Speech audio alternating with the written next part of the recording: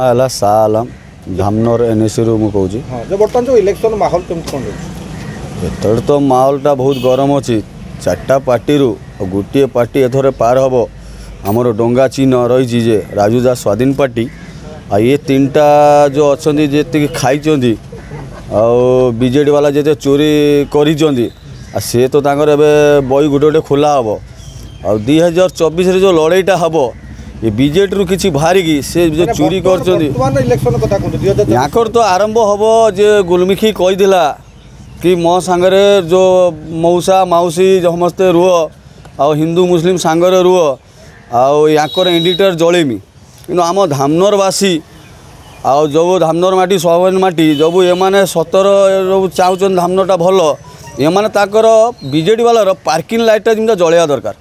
স্বাধীন চিহ্নক ভোট দেখি যাকে পার্কিং লাইটটা জলাইবা দরকার এথর তো আমি কাল যে সর্ববালা আসলে আমি কাল দেখিনু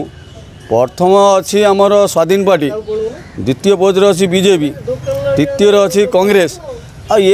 আমার জগুসার আড়ি অছি গোটে ধামনর ভিতরে